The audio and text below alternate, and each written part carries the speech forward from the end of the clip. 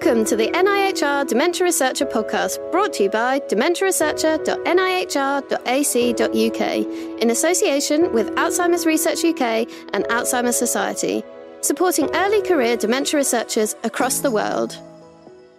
Hello, and thank you for listening to the Dementia Researcher podcast. Our website includes blogs and articles written by early career researchers from across the UK and elsewhere in the world. Every blogger provides a narration, which is published into the website alongside the text. In this podcast today, we've collated those blogs and narrations from across the year to create a five part special. I hope you enjoy them. Our first blog comes from Dr. Anna Volkmer. Many of you people who visit our website will be aware of Anna's work. Anna is a speech and language therapy researcher from University College London. We've followed her over the last couple of years, and this year has she finally finished her PhD. In this blog, she discusses how she prepared and her experience of doing a virtual Viva. Doing a virtual Viva and completing those darned amendments during COVID 19. At the start of lockdown in early March, I received an email from my supervisor telling me that my long awaited PhD Viva would not be going ahead. With a heavy heart, yet completely aware of the impact of the current situation, I put my revision aside. Later that week, as I perused the emails from various important people at the university, I noted a sentence suggesting that actually Vivas may go ahead in extraordinary circumstances. My supervisor and I did some investigating, and lo and behold, a week later, my Viva was back on. My initial thoughts were that I'd lost a week of time. And then I started to consider that I would be doing it remotely and what this might mean. But I just couldn't stop thinking about my three days of clinical work either. My Viva was scheduled for the 8th of April, and in the lead up, all anyone was talking about or thinking about was COVID 19.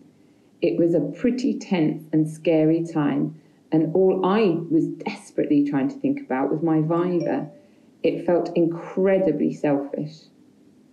Despite these feelings of anxiety, I ploughed on and one week later held a mock Viva on MS Teams with my primary supervisor and another kind and lovely colleague who'd been giving me lots of valuable advice all along the way. Doing a mock Viva using the device that I planned to use in the room in my home that I planned to use was quite helpful actually.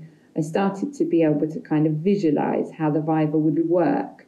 And I felt quite comfortable with the technical and practical side, so I could concentrate on the actual questions. I scripted as many questions as I could think of. I read my thesis multiple times. I read the work of my examiners. I did lots of work on the weekends before my Viva too. At this time, my two young children were only able to go to school two days. They had two key worker days because I was working clinically per week. And so I continued to juggle their homeschool, clinical, and academic work. Now, usually I don't let these overlap at all. I try not to let my caring responsibilities intrude on my work life. However, having spoken to many people during COVID 19 about this, I think that this was not feasible during lockdown during this extraordinary time, all domains of my life kind of blended together, and maintaining strict boundaries was so tricky. So I did do work on the weekends, but I also had the children to remind me that, thankfully, the Viva wasn't the be all and end all of my life at that time. I felt quite comfortable that if the Viva didn't go perfectly, it didn't have to go perfectly, it just had to go reasonably. So, um, when the day of my Viva came, despite feeling absolutely petrified, I also felt a need to just get the thing done and just move forward. I'd also just submitted an application for a grant the day before my Viva, and that helped me see forward, I think, beyond the PhD.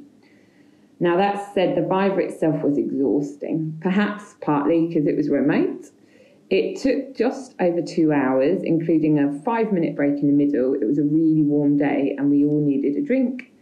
I could hear my own children playing in the garden and arguing in the kitchen. my external examiner was at home himself, and funnily enough, his children popped their heads into his office in the break of my viva.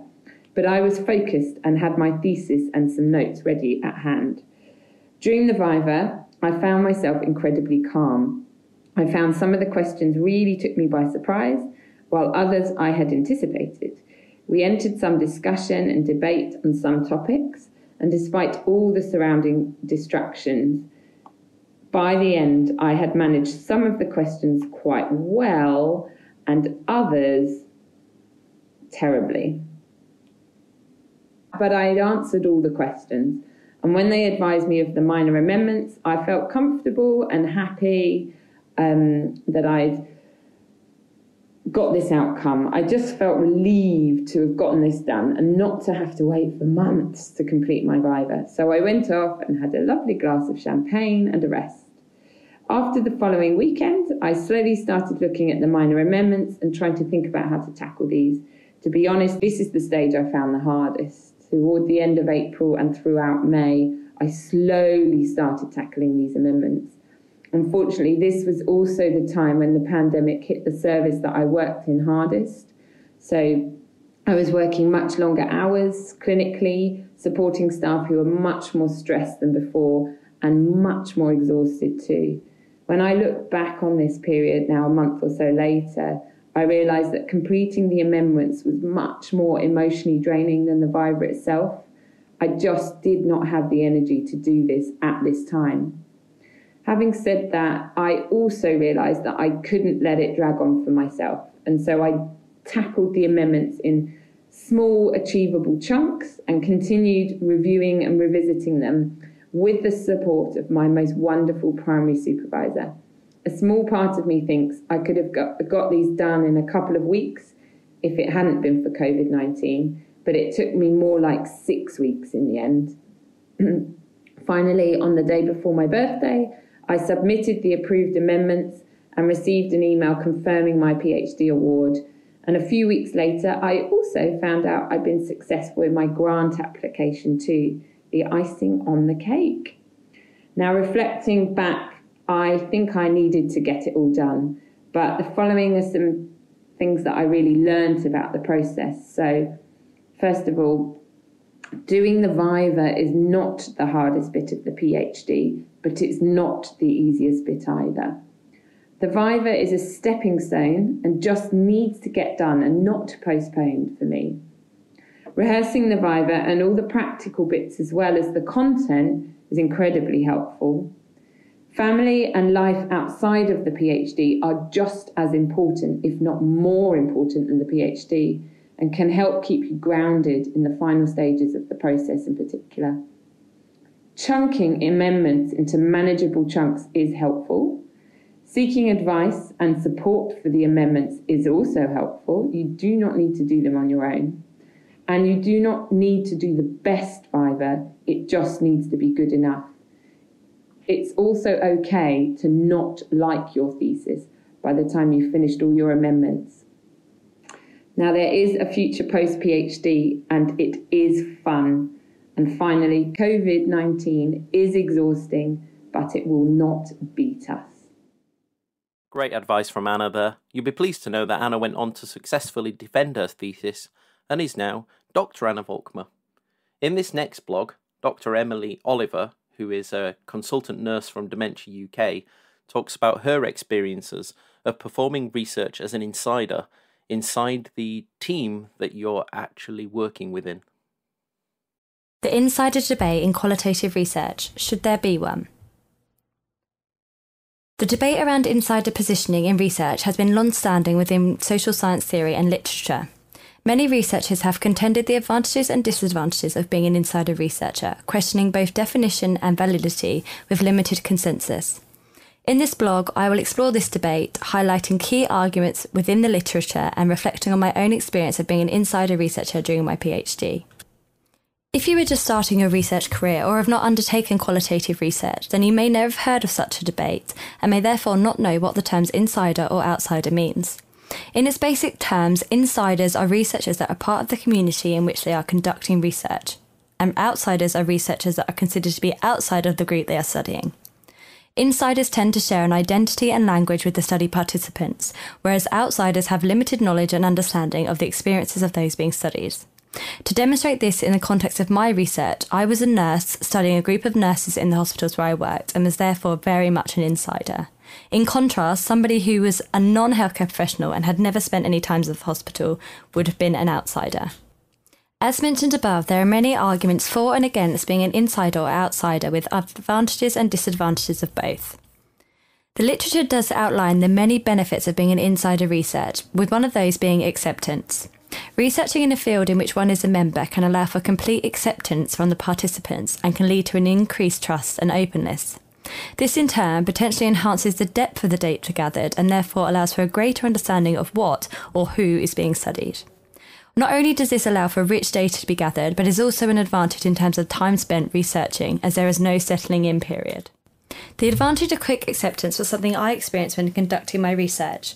My other PhD colleagues were organising settling in periods in which they spent time with their participants to build a rapport and develop understanding of the context in which they were researching, whereas there was no need for me to do that. I was able to jump straight into collecting data as the participants knew who I was and the relationship was already built, so they felt comfortable being open with me from the first day. However, this complete acceptance wasn't without its setbacks. When interviewing, the participants would often skip over some detail as they already knew I had an understanding of the topic. For example, on more than one occasion, an interviewee made reference to the fact that I already knew that, so I had to ensure to ask them to fully explain what they meant, as if they would if I were not a nurse. Despite the advantages of insider research, there is a strong argument against insider positioning due to an increased risk of bias in interpretations and findings. Being a member of the setting under investigation poses questions about the objectivity, reflexivity, and authenticity of a research project, and there are ongoing concerns that insider research are often too close to the project. It is therefore possible that preconceived ideas can guide the way in which the study progresses, and therefore personal experience has the potential to influence the data collected and ultimately the claims made. Similarly, another argument against insider positioning is the conflict that arises between roles. The dual role of an insider as both a researcher and a member of the community can often result in role confusion, in which the researcher responds to the participants or analyses the data from a perspective other than that of the researcher. In addition to this, the dual role can often lead to a problem with loyalty in that the researcher does not want to make claims that criticise the group in which they are studying and also a member of. Although I did question my roles during data collection or analysis, I did struggle with feelings of loyalty to my profession, and at times I didn't always feel comfortable with what the data revealed. I had a good relationship with my supervisors, so I was able to share these concerns with them, and we worked through these feelings of disloyalty together. As time passed, it became clearer to me that these feelings of discomfort were temporary, and actually, the long lasting influence that my research would have was more important. Reflecting on this, I would argue that this could have happened to any researcher, whether they were an insider or an outsider. Due to the length of time spent in the field when conducting qualitative research, strong relationships are built between the researcher and the participants, and can therefore leave anyone open to these feelings of disloyalty and discomfort which I experienced. Although the evidence base attempts to identify whether being an insider makes a better or worse researcher, I would argue that it in fact just makes me a different researcher. I understand that being a member of the setting being explored leaves researchers open to preconceived ideas and potential bias, but I also think it allows researchers to be more in tune with the participants. The increased knowledge and experience of the field allows for a deeper understanding of the context in which the findings are situated and perhaps provides a wider picture than what is being observed and discussed. The concerns with regards to bias and objectivity are valid. However, unlike quantitative research, in which participants are represented in numerical terms, I would argue that actually qualitative researchers are unable to have a distant researcher role, regardless of whether they are an insider or not. As Rose 1985 explains, there is no such thing as neutrality in qualitative research. There is only a greater or lesser awareness of one's biases. Similarly to the way in which trustworthiness is assessed in qualitative research, perhaps the decision as to whether insider or outsider positioning has an effect is not ours to make. Perhaps all we can do is make our position clear and allow the readers to make the decision themselves. I believe as long as there is ongoing reflection, constant questioning, and a declaration of your position given, arguably there is no debate to be had. I have provided some tips for anybody who's thinking of undertaking research in which they will be an insider. Ongoing reflection and questioning. Ensure that you continue to reflect on the claims that are being made and question where these came from and whether preconceived ideas have had an impact on these. Continue to question participants to ensure that you are not making assumptions as to what they are saying. Regular supervision. Ensure you have regular supervision to talk through your analysis and your findings. Build a relationship with your supervisors that allows them to question what you have found and how you have found it. They may be able to uncover potential bias. Declaration of position. When you write your thesis or papers or present your research, be sure to declare that you are an insider researcher and be proud of that. Outline what this means and highlight the steps you have taken to reduce any potential bias. Very useful advice from Emily for anybody, particularly clinical researchers who are performing research from within the system that they work. Our next blog comes from Dr. Clarissa Giebel. Clarissa is a social care researcher at Liverpool University and works within the NIHR ARCS. In this blog, she's going to talk about the importance of social care and the need for improving that in dementia. Waving the flag for better social care in dementia. The pandemic has made us realize a lot of things, I'm sure.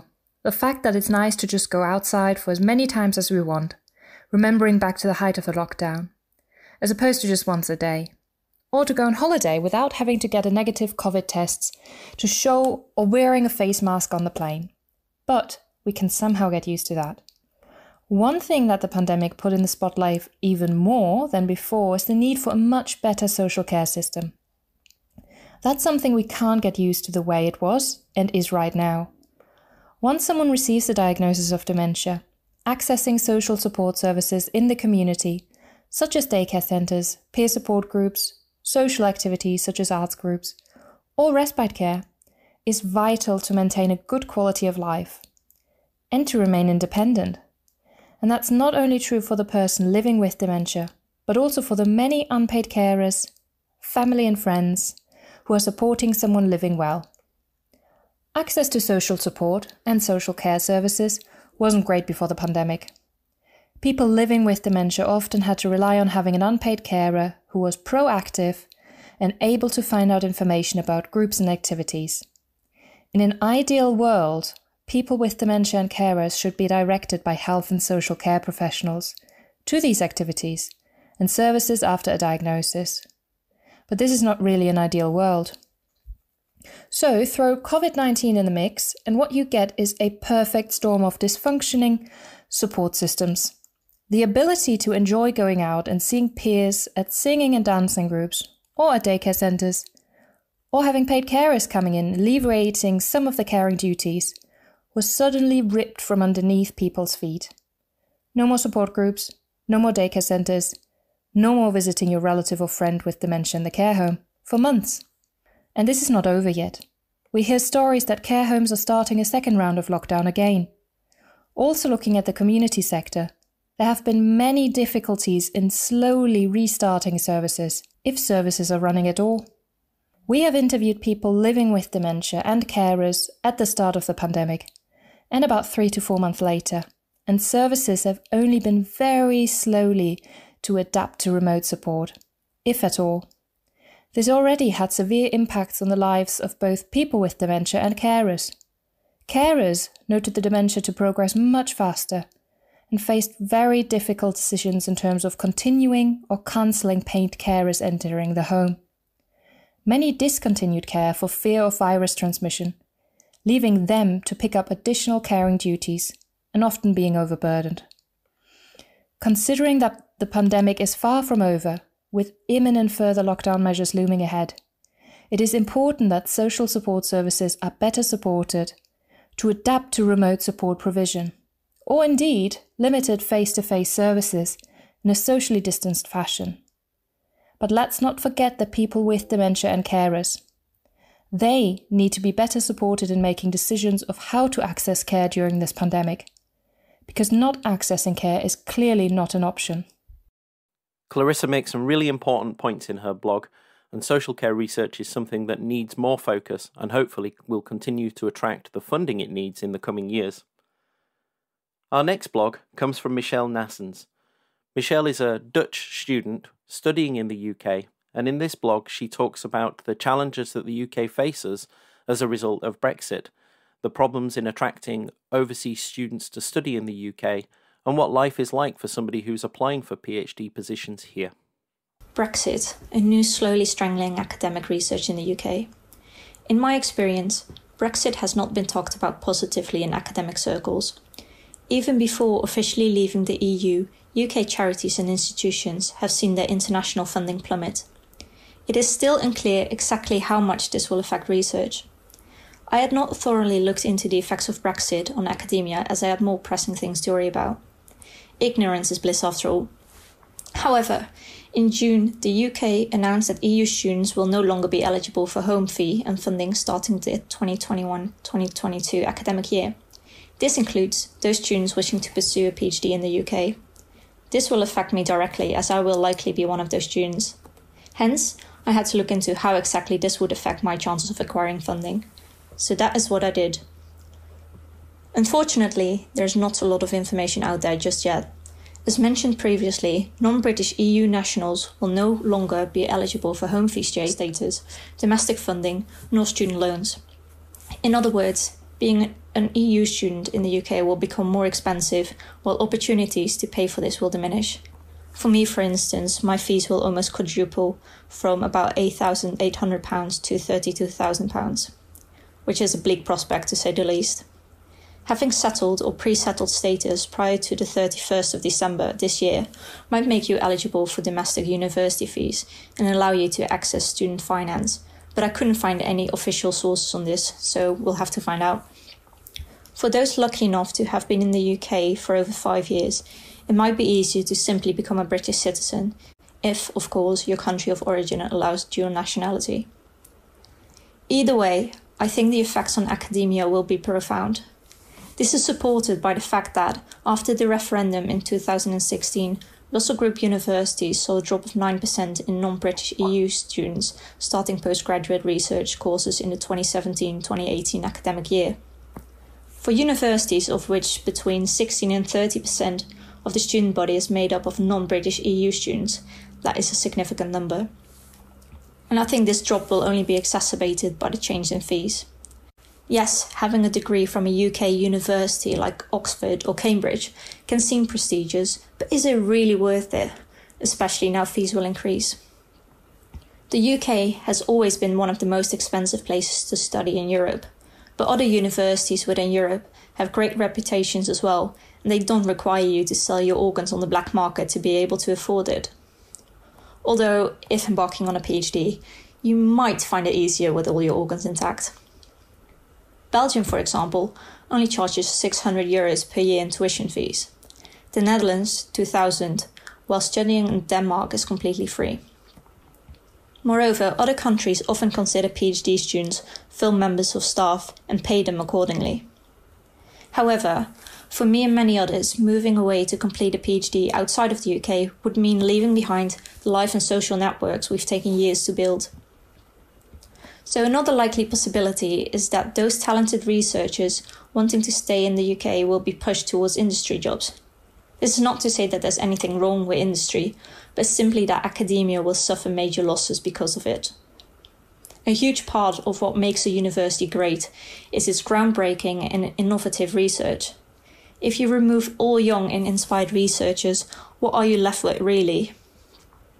Academia has always been about following your passion because, let's face it, it's not where the money is or the job stability.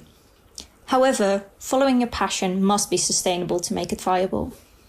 Career advancement and opportunities for those EU students wishing to follow their dreams will be significantly hindered by limiting funding and increasing costs. But to be honest, with the global pandemic happening, Brexit seems like the least of our worries. Right now, it is impossible to say how exactly Brexit will affect academia and funding opportunities. One can only speculate, and despairing is hardly productive. The government may come back on the decision, or institutions may find ways around it.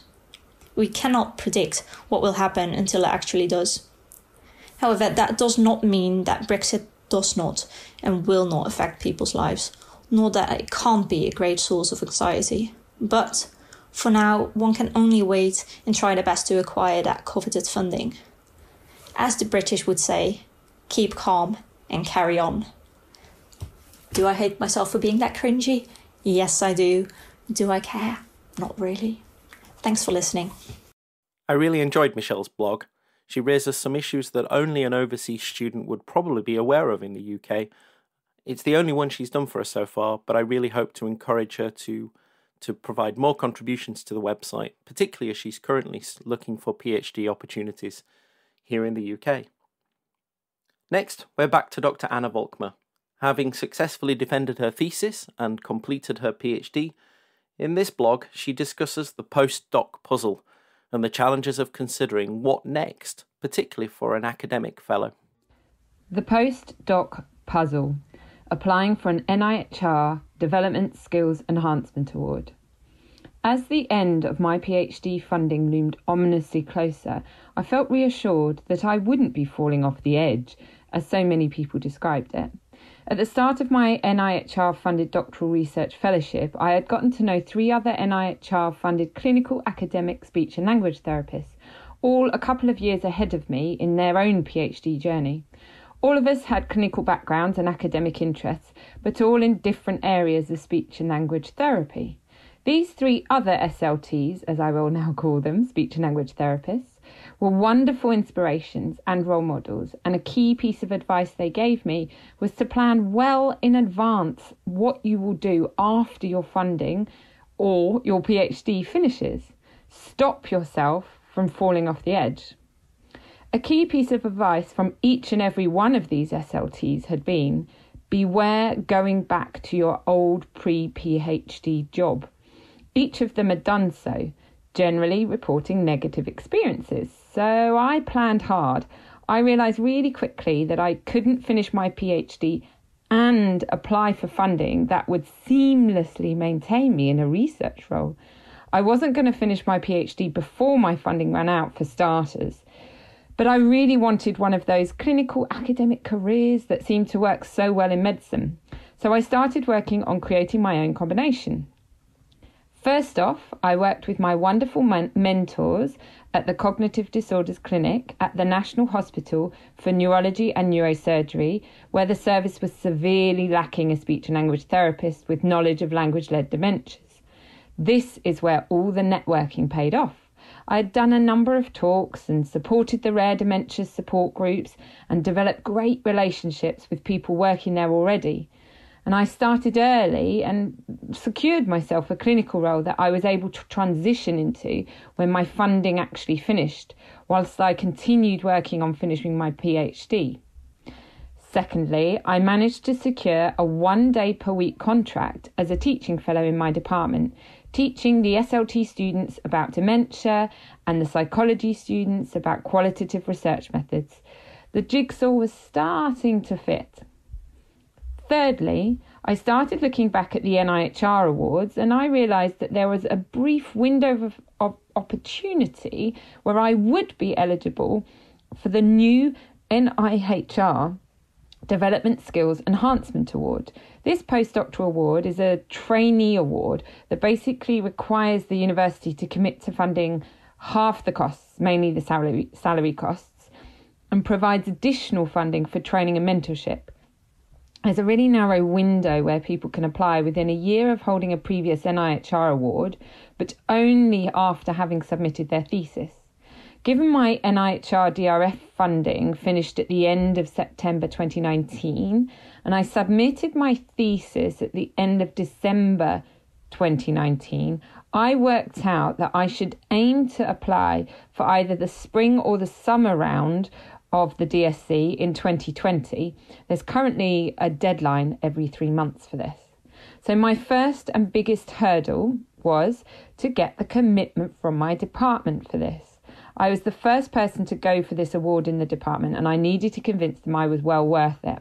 So I did a bit of detective work and spoke to a recently su- successful awardee, a ra- radiologist, and she gave me lots of useful guidance on considering the justification for why I couldn't just apply for a clinical lectureship or a postdoctoral fellowship. I found my final chapters of my thesis rather helpful as I started to draft the story for what I needed next for my research and training. One of the key areas I needed to focus on was outcome measures.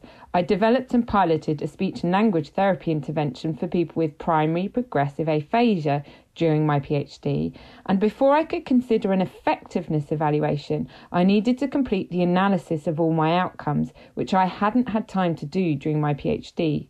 I also wanted to know what the most important and meaningful measures were for the participants who did the therapy. Alongside this, I needed to develop my knowledge of implementation science and trials methods for my next application. This was my basic story. My mentors were incredibly supportive and generous with their time and ideas, and it felt like a reasonable application. As it turned out, the award deadline fell in the first months of the COVID 19 pandemic, and the department was unable to support me. But then in the 11th hour, they were able to support me after all. And in a final rush, on the actual morning of my PhD viva, I submitted my application. Having thus promptly forgotten about this, I recently found out in June that I'd been successful in my DSc application. So, this final piece in my clinical academic puzzle makes me feel that I am en route to the career I would like and I am passionate about, and most importantly, will mean that I can continue to develop clinically relevant research. So, I'm due to start the award in October, and I am so excited. I will reduce my clinical time a little bit, but as of October, I will be a clinical, academic, teaching speech and language therapist. Deciding what to do after you've completed your PhD is difficult. It's something you will often start to think of in the last six months and is something that's discussed regularly at early career researcher conferences, with options around moving into industry, remaining in academia, or perhaps considering something along the side of your PhD, like science communications. If this is something you're struggling with yourself right now, please do take a look at our, our website www.dementiaresearcher.nihr.ac.uk where it's been discussed several times before. The next blog comes from me. Back in March, when we all started to move into lockdown, video conferencing and video calls became the norm. In this blog, I discussed ways to avoid rubbish video calls, a subject that's been discussed lots since.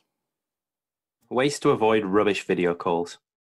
In these times of university closures and social distancing, Many of us have transformed overnight from lab and office workers into home workers and telecommunicators.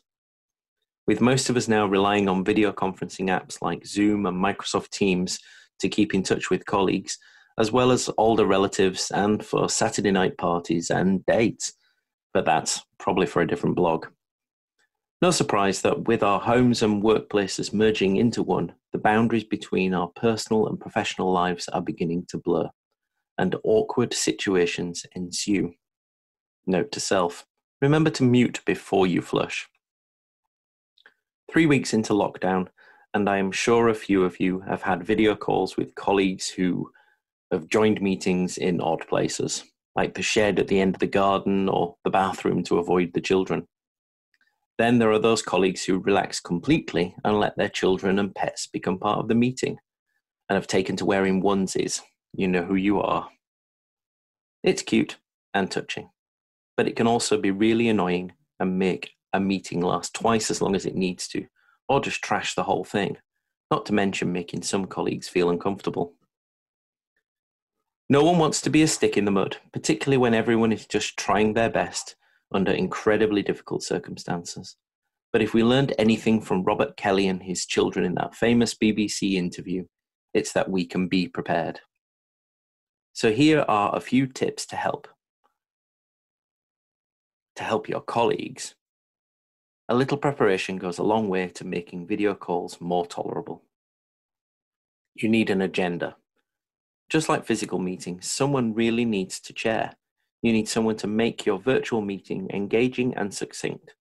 It's easy to get sidetracked. But do you need minutes? Well, one benefit of this format is the potential to simply hit record and then email a link to everyone who couldn't attend. Personally, I think a combination of the two works best. Take a note of the key actions and email everyone afterwards with a link to the recording, should they want to watch back, and a note of the key actions. I asked my Twitter friends for their own top tips, and I particularly liked one from Sarah Gregory. If it's a big meeting or you have people new to video conferencing, I think it can be good to find a way to get everyone to speak at least once in the meeting, even if it's just their introduction or having people lead different sections of the meeting. When you're setting the agenda, think about asking each of the attendees to lead a section and think hard about why people are attending. If they don't have to contribute, do they really need to be there? They could just be sent the recording and watch at their leisure. Katie Roberts suggests that a good chair should ask quieter members of the team if they have anything to add, if you think it would help them. I find that video chats can benefit those with louder voices even more than in real life, but also think that video is better than just voice for chatting like this. Nikki Taylor makes a good point. Ask people to name themselves appropriately when signing in. Example, if it's first name only, helps with privacy, or full name so hosts know who they are letting in, example on Zoom. Also consider the benefits of using gesture in video calls to confirm agreement, stroke disagreement, or to signal a desire to speak. Dementia voices use I want to speak cards, or participants hold something up bright.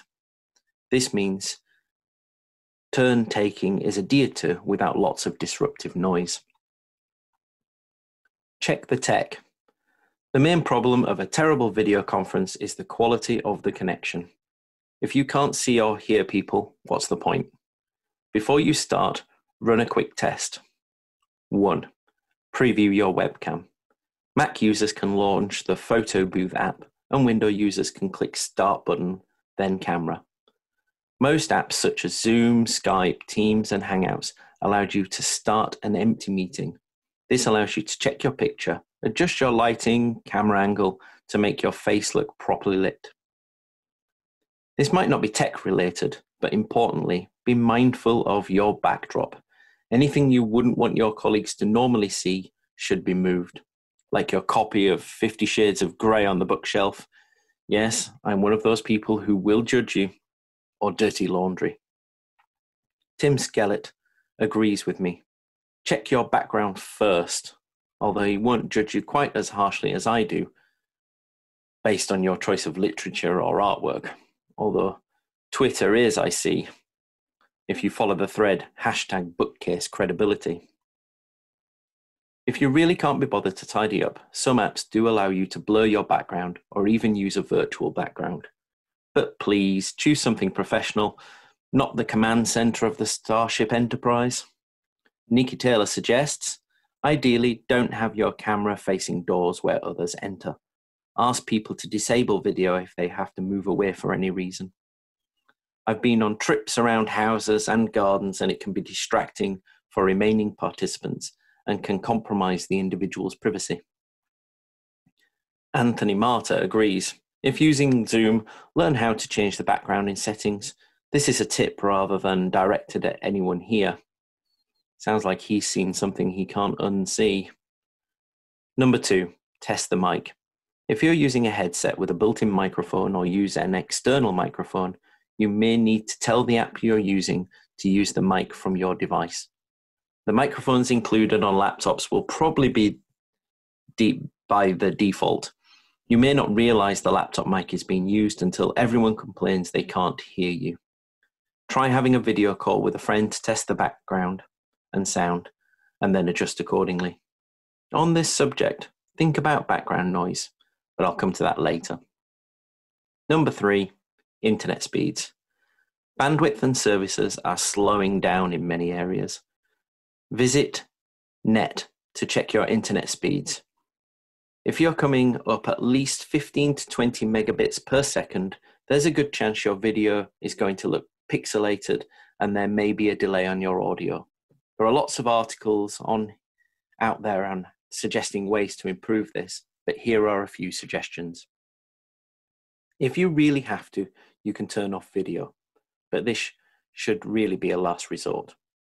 Before you get to that stage, run around the house, turn off or disconnect the Wi Fi on other devices that might be sapping your bandwidth. Example tablet, smartphone, skybox, the kid in the room next door streaming Netflix and playing Fortnite. Turning off their devices, not the children. You need boundaries. We know that families are important than ever right now. Keeping your loved ones close is important. However, that doesn't mean your colleagues want your boyfriend in his pants or dogs on his laptop or children screaming and bouncing on your head. With children at home, this can be difficult, but that's why, where possible, it's important to take a video call in a place where you can draw boundaries and be alone. The easiest way is to close the door.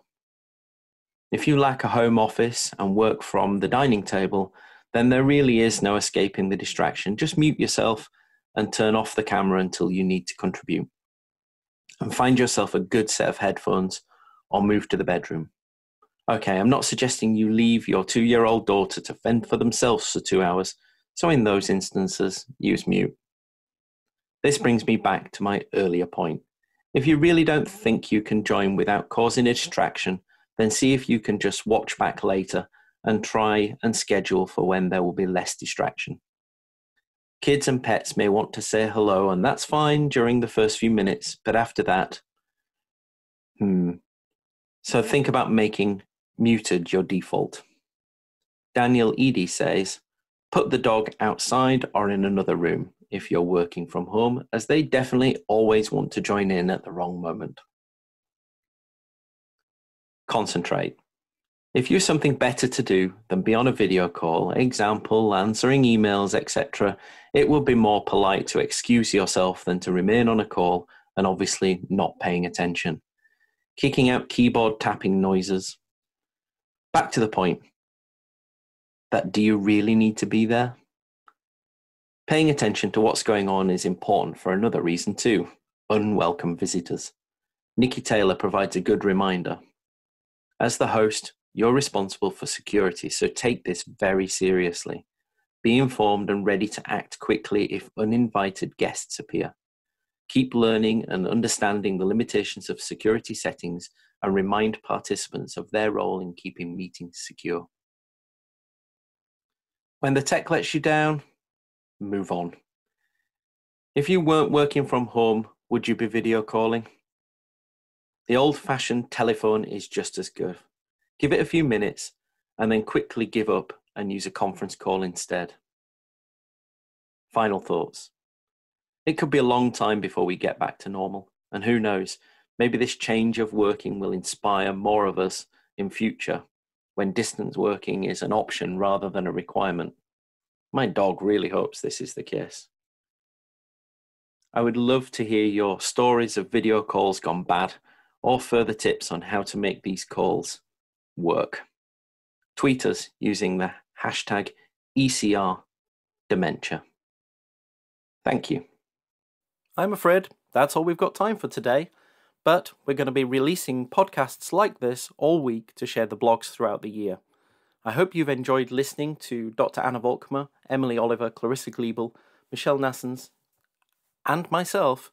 So please do visit our website, dementiaresearcher.nihr.ac.uk, to make sure you never miss any of our future blogs. And do come back tomorrow when we'll have the next blog roundup from the year. Brought to you by dementiaresearcher.nihr.ac.uk in association with Alzheimer's Research UK and Alzheimer's Society, supporting early career dementia researchers across the world.